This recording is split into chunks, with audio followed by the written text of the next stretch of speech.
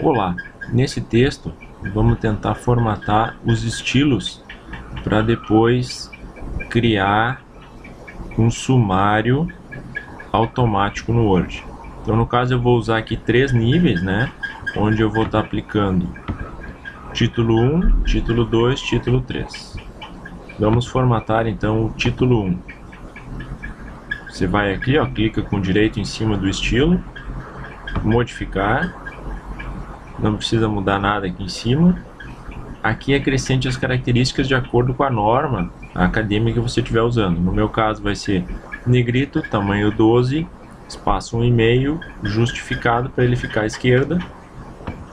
Pode clicar aqui em novos documentos baseados neste, neste modelo, né, para criar outros a partir deste. Vai aqui em parágrafo. Aqui é importante ressaltar o espaço anterior, ou seja, que vai ficar acima. É, normalmente é 24 ou 30, né, a norma. E o espaçamento depois do título. Por que é importante alterar aqui?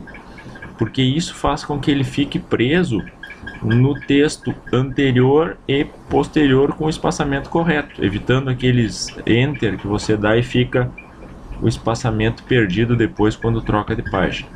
Como é o título 1, é importante botar manter com o próximo e quebrar página antes. Dessa forma, o título 1, que é o início de capítulo, sempre vai ficar no início de página. Tá? Como esse aqui já está formatado, eu só vou dar OK vou clicar aqui no texto e vou clicar no estilo 1 e ele já faz a, por, a formatação correta.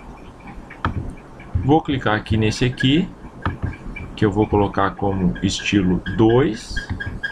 Vocês podem ver que ele ficou igual ao anterior, então eu vou modificar para que ele tenha uma característica diferenciada, ou seja, cada nível de texto tem que ter uma característica diferente. Então eu vou tirar o negrito desse aqui, Vou vir aqui em formatação e vou botar fonte. Vou botar todas em maiúsculas, por exemplo, tá? E vou dar OK. Vou vir em parágrafo também, manter com o próximo. Recuo, eu vou botar antes 18, depois 6, para ele separar bem do texto anterior e aproximar do texto posterior. Tá? Nível 2 eu não é importante colocar para ele ajustar no sumário posteriormente. Ok, ok. Título 2, olha, ó. ficou com a formatação correta. Se eu clicar aqui, pode ver que ele não aparece Enter nenhum. Tá, ficou legalzinho. O nível 3, ó, eu tô com outro estilo de letra. Então vamos lá, modificar, tá? ele tá com a Arial, vamos botar a Times. E aqui eu também tenho que dar uma diferenciação.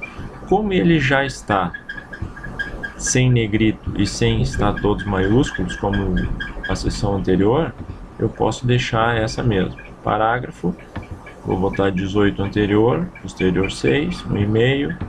Venho aqui, manter com o próximo para prender sempre no parágrafo posterior. Ok. Ok.